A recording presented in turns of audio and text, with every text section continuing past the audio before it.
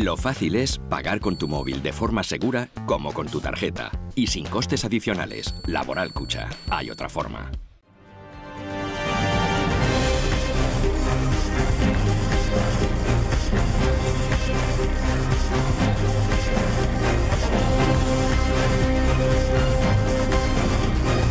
Servicios informativos de Navarra Televisión.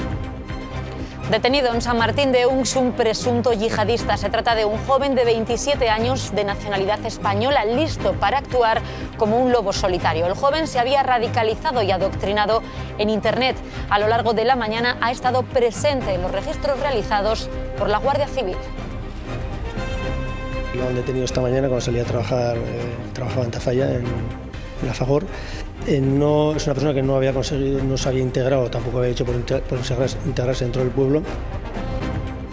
Son las valoraciones del alcalde de la localidad. Muy buenas noches. La operación sigue abierta, aunque todo apunta a que no habría más implicados, según ha señalado la propia delegada del Gobierno en Navarra. El Ministerio del Interior considera a este hombre violento y de alto potencial terrorista. En la localidad, en San Martín de Unx, la tranquilidad del pueblo se ha visto alterada por este suceso. El joven llegó hace cinco años y se había radicalizado tras convertirse al Islam. Hace dos años resultó herido de gravedad en una explosión producida en su casa. Los vecinos aseguran que era conflictivo y que nunca se había integrado. se cogió de ocupa una casa y que después se había vuelto eh, al islamismo. Eh, muy poco, porque eh, no se dejaba ver por el pueblo. Era una persona bastante conflictiva, causaba muchos problemas a la gente y la gente, pues la verdad, estaba bastante eh, atemorizada. Y esto ha ocurrido esta mañana en Arguedas. Esta vaca escapada de una ganadería cercana ha irrumpido en la carretera y lejos de intentar escapar ha arremetido contra los vehículos que había parados. Ha resultado herida y ha sido después sacrificada. Y los pensionistas navarros han expuesto su situación en el Parlamento con la mente puesta en las movilizaciones de este fin de semana y en el debate que se ha desarrollado sobre las pensiones en el Congreso. Rajoy ha prometido mejorar las pensiones mínimas y de viudedad si se aprueban los presupuestos generales de este año, pero descarta subirlas conforme al IPC. Hoy también se ha hablado del tren de alta velocidad. Fomento adjudicado por casi 600.000 euros la redacción de un nuevo tramo, el Zaragoza-Castejón. Además, el Gobierno de Navarra se ha referido a las alegaciones que ha presentado a la conexión del tramo navarro y la Y vasca. También se ha referido a las manifiestas diferencias en el seno del cuatripartito. Es notorio y es conocido que dentro de los grupos que apoyan al gobierno hay diferentes puntos de vista, yo creo que esto es conocido, pero también yo lo que quería decir aquí es que, que el gobierno lógicamente está actuando eh, y está velando por el interés general ¿no? de, de la sociedad navarra. Cuenta atrás para las obras que van a remodelar Pío XII. La obra comenzará en mayo y podría estar terminada a finales de 2018. El proyecto definitivo del ayuntamiento incluye 20 aportaciones, entre ellas 77 nuevas plazas de aparcamiento rotativo en horario de comercio en las calles adyacentes para compensar la anulación de los parkings de toda la avenida. Y hoy hemos sabido que tras avalar el Constitucional la capacidad de Navarra para expropiar viviendas de empresas, el Ejecutivo Foral trabaja en crear un registro de vivienda deshabitada en Navarra. Lo veremos y también estaremos pendientes del deporte.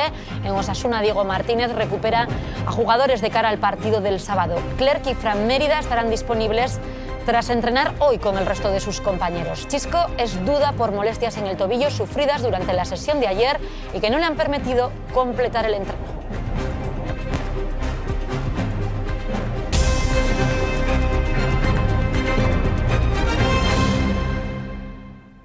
La Guardia Civil ha detenido en San Martín de Unx a un joven de 27 años de nacionalidad española y convertido al Islam por autoadoctrinamiento de terrorismo yihadista. Según el Ministerio del Interior, estaba preparado para pasar a la acción en solitario en nuestro país. Tras una mañana de registros en la vivienda hacia el mediodía, la Guardia Civil se llevaba esposado al detenido. Se trata de un joven de 27 años de nacionalidad española que llegó a San Martín de Unx en 2012. Según la investigación desarrollada por el Servicio de Información de la Guardia Civil y el Centro Nacional de Inteligencia, se convirtió al Islam y había comenzado un proceso de radicalización a través de Internet. Parece ser que lo han detenido esta mañana cuando salía a trabajar, eh, que trabajaba en Tafalla, en, la. Y nosotros tampoco del caso mucho, mucho no podemos contar porque realmente no sabemos, no sabemos mucho. Eh, no, es una persona que no había conseguido, no se había integrado, tampoco había hecho por, integrarse dentro del pueblo. Y apareció aquí, se cogió de Ocupa una casa y que después se había vuelto eh, al islamismo. Y salían las fotos en internet de él, vestido ya. Los agentes de la Guardia Civil han sacado material de la vivienda del detenido. Fuentes de la investigación aseguran que la detención se ha producido por el riesgo que existía de que el joven pudiera desplazarse a zonas en conflicto para integrarse en organizaciones terroristas o incluso llevar a cabo alguna acción en solitario en territorio español. Los vecinos amanecían hoy con el revuelo del dispositivo policial. Lo conocía de poco. yo llevo poco tiempo viviendo aquí y muy poco, porque eh, no se dejaba ver por el pueblo. Era una persona bastante conflictiva, causaba muchos problemas a la gente y la gente, pues la verdad, estaba bastante eh, atemorizada con él. Tranquilidad y ahora cerradas todas las puertas tenemos. Un pueblo que estaba todo abierto toda la vida pero no está viniendo cada uno. Hace unos años el detenido sufrió un accidente en su casa cuando manipulaba gasolina, aunque hoy el alcalde desvinculaba este hecho de la detención. No, no tiene nada que ver con este tipo de acciones, ¿eh? aunque ahora se presta interpretaciones, en aquel momento prácticamente con certeza fue un tema que nos va por de gasolina, que estaba haciendo unos temas de mecánica y le, le explotó gasolina. Y se quemó, tuvo unas quemaduras muy importantes, pero bueno, se ayuda aquello y bueno, se rumorea que, a partir de entonces, por entonces, se, había pasado al islamismo. En los últimos años en España se ha producido un aumento de detenciones de personas autorradicalizadas y vinculadas a grupos terroristas relacionados con esta amenaza. La operación se ha desarrollado en coordinación con el Juzgado Central de Instrucción número 3 y de la Fiscalía de la Audiencia Nacional. El Gobierno de Navarra ha aclarado que Policía Foral estaba al tanto de esta operación y conocía a través de Guardia Civil de las actividades del detenido. Es una competencia de, Guardia Civil, no era una competencia de Policía Foral, pero tienen conocimiento Policía Foral de todo lo acontecido y tenía conocimiento de varias cuestiones relativas a esta persona.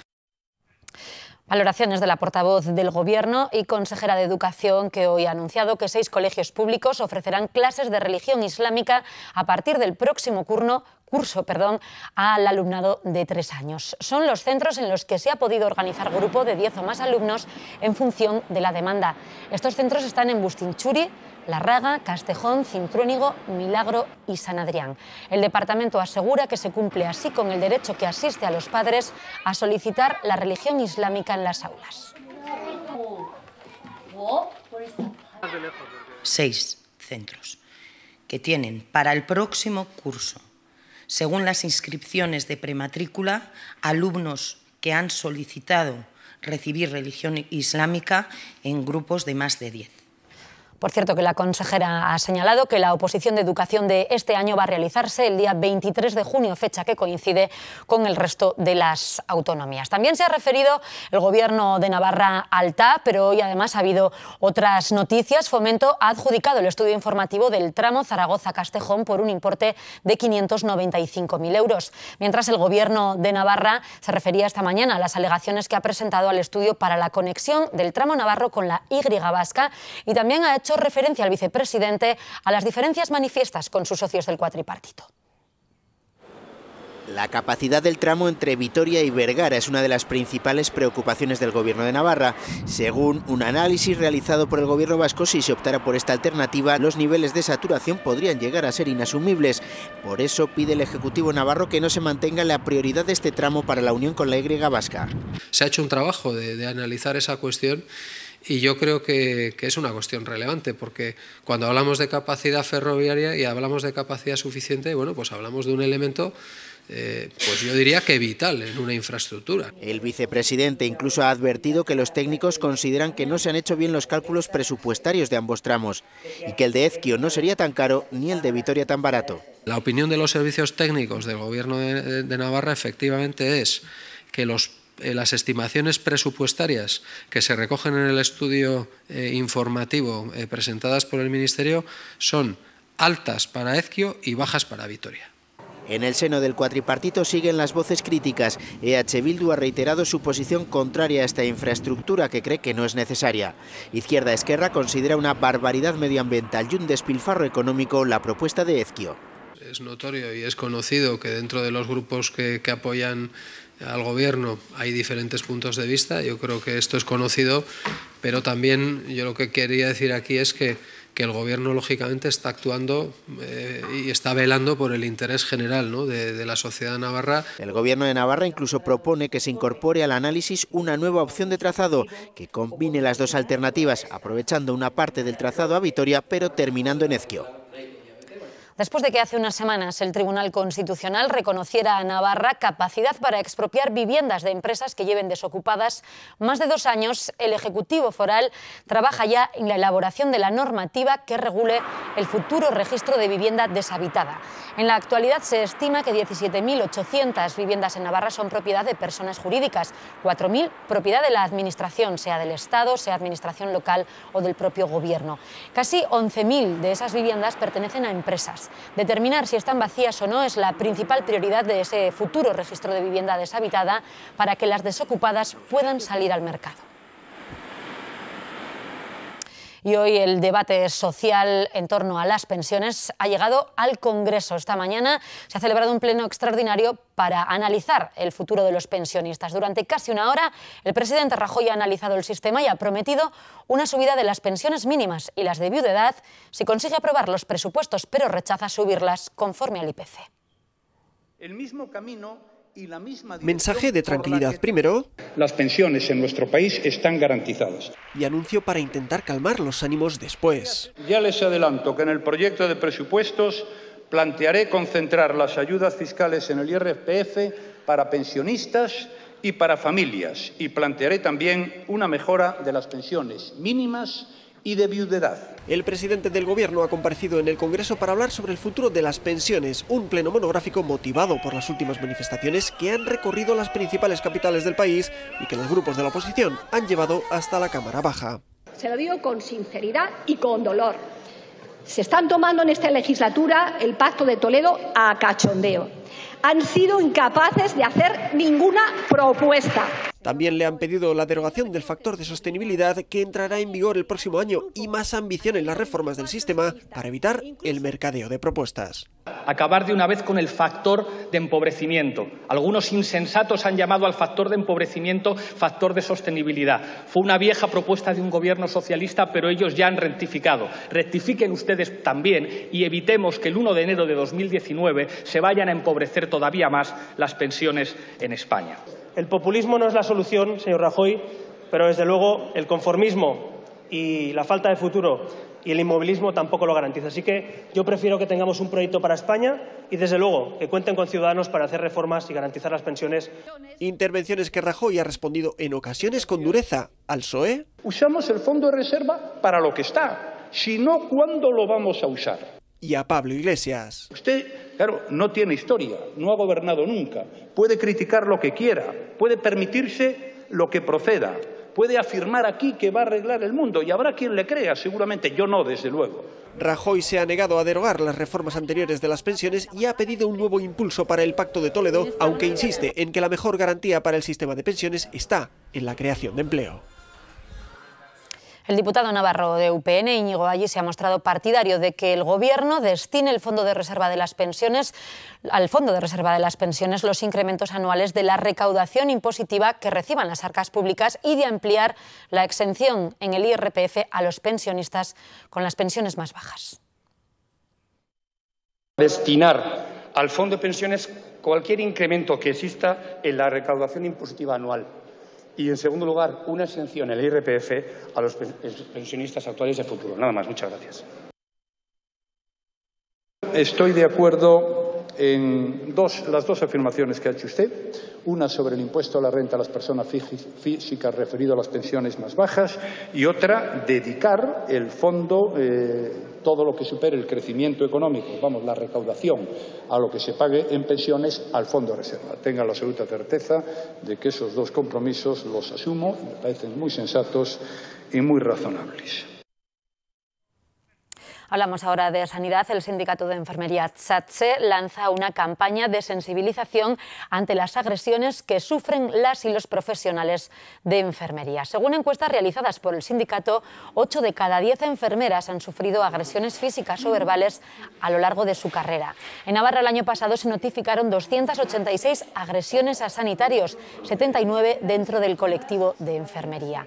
Van a distribuir carteles y dípticos en centros sanitarios y quieren tener además presencia en redes sociales y medios de comunicación para concienciar con un mensaje claro. Nada justifica una agresión. Piden además a los profesionales que denuncien todos los casos y proponen también otras medidas. Es necesario implantar actuaciones disuasorias como la instalación de botones de pánico, entre otras. Contar en todos los ámbitos de salud con mayor presencia de vigilantes de seguridad. En definitiva, hay que hacer visible este gran problema, hay que denunciarlo y hay que insistir en el mensaje de tolerancia cero siempre y ante cualquier agresión. El Gobierno de Navarra ha aprobado el Plan Estratégico de Turismo que va hasta el año 2025. La finalidad, consolidar el turismo como motor de desarrollo territorial y de apertura internacional de Navarra. Para elaborar el plan han participado 172 agentes públicos y privados que representan a entidades locales, a empresas públicas, asociaciones turísticas o agencias de desarrollo, además del propio Gobierno. El plan tiene cinco objetivos básicos. Consolidar la posición de Navarra en los mercados más próximos, tratar de ocupar posiciones en nuevos nichos, además de viajes de entre cuatro y siete días.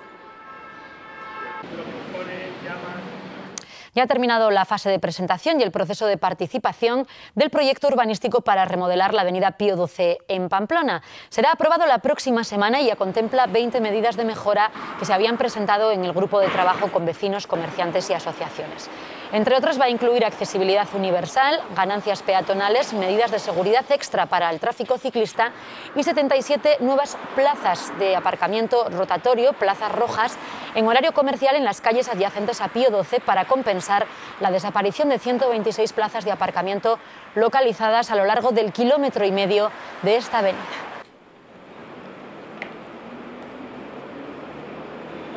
Las obras comenzarán en mayo y podrían estar finalizadas a finales de 2018. Y ahora nos vamos al Parlamento de Navarra, que ha renovado su convenio de colaboración con Euskal Chandía. Se prevé una exposición de textos jurídicos antiguos, la mejora del diccionario jurídico y la participación en los actos del centenario de la Academia. El convenio tendrá una vigencia de tres años, prorrogable por periodos de tres nuevos años. Incluye la creación de grupos de trabajo cuya coordinación recaerá en Euskal Chandía, que a su vez se compromete a poner a disposición del Parlamento los resultados obtenidos. E intentar, pues eso, hacer de Euskal Chandía una institución que esté al día en cuanto a las necesidades de la sociedad a la que sirve, de la lengua que, que tiene por objeto y por leitmotiv y que en definitiva todos seamos partícipes de ese trabajo.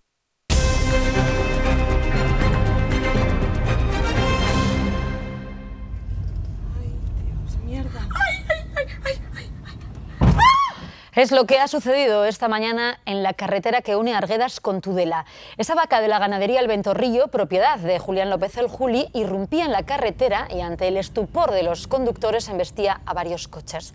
El suceso ha sido filmado por las ocupantes de ese vehículo que ha sido fuertemente embestido por el animal. Ha tenido lugar en las inmediaciones de la recta de Arguedas. La vaca ha resultado herida tras las embestidas y ha tenido que ser sacrificada en el matadero. ¡Hostia puta cabrona! El atestado lo ha realizado la Guardia Civil, que hoy también ha tenido novedades. El director general del cuerpo de la Guardia Civil, José Manuel Holgado, ha asegurado en Pamplona que es fundamental que todos los cuerpos policiales de Navarra estén coordinados, puesto que el ciudadano no entiende de uniformes, ha dicho, cuando se presentan casos de urgencia. Holgado ha asistido a la toma de posesión de José Santiago Martín Gómez como nuevo jefe de Guardia Civil de Navarra. Ha asegurado que conseguir centralizar la información de posición de patrullas uniformadas en Navarra va a repercutir sin duda en la calidad del servicio que se presta a la sociedad. Autoridades responsables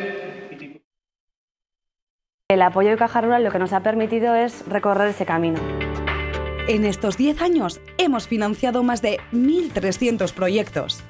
Se han generado más de 2.800 puestos de trabajo directos.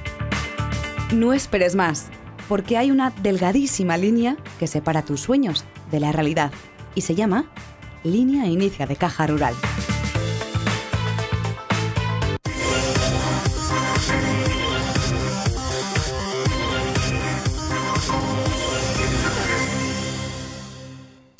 Miramos ahora a Osasuna. Diego Martínez recupera a jugadores de cara al partido del sábado ante el Zaragoza.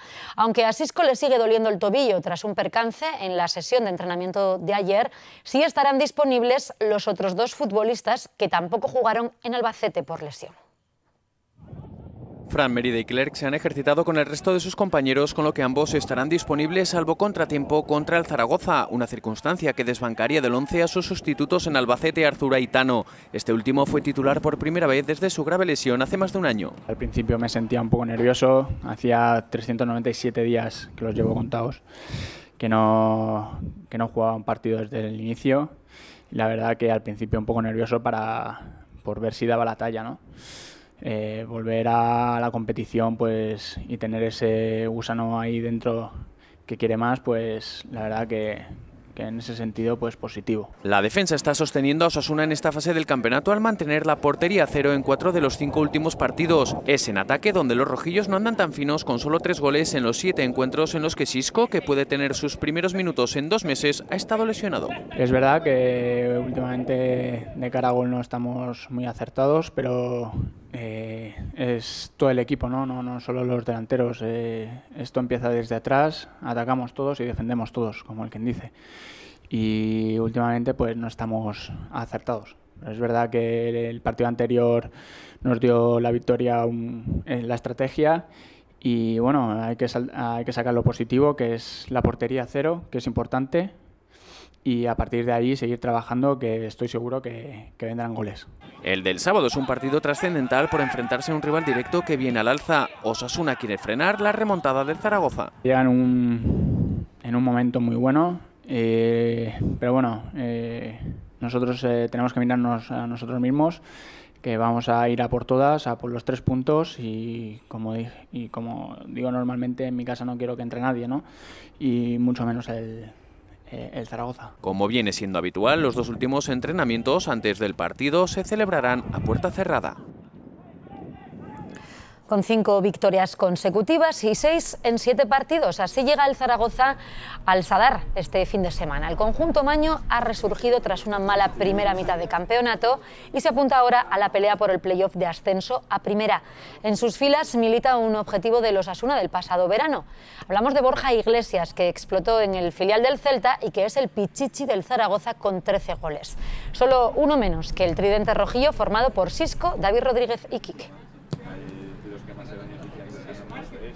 Comentado que es un partido muy tenso, de, alto voltaje, ¿no? como se suele decir, que, que se, genera una atmósfera complicada para jugar y, en su estadio obviamente para nosotros pues será más, más agresiva igual o, algo así, pero bueno, creo que tenemos que pensar en nosotros, en, en hacer las cosas bien. El apoyo de Caja Rural lo que nos ha permitido es recorrer ese camino. En estos 10 años hemos financiado más de 1.300 proyectos. Se han generado más de 2.800 puestos de trabajo directos. No esperes más, porque hay una delgadísima línea que separa tus sueños de la realidad y se llama Línea Inicia de Caja Rural. Y una noche más, Amaya Madina Beitia nos invita a cruzar la Muga. Vamos a conocer qué contenidos nos tiene preparados hoy. Amaya, buenas noches.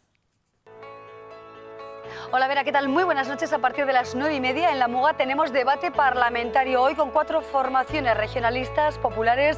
Euskal Herria Bildu y Guero Abay protagonizarán el debate político de hoy con dos temas eh, fundamentales. Hablaremos de la ley de dispersión y también de los eh, homenajes tributados el pasado fin de semana a las víctimas eh, del terrorismo. Será a partir de las nueve y media. Además tendremos, al margen de la política, una sorpresa musical. Hoy estará con nosotros el cantante y compositor Javier Erro, que presenta nuevo disco y concierto este fin de semana. Recorreremos su trayectoria enseguida a las nueve y media. Hasta luego. Pues muchísimas gracias, Amaya. Ya saben que tienen una cita esta noche aquí en Navarra Televisión. Más noticias mañana en nuestros horarios habituales. Adiós.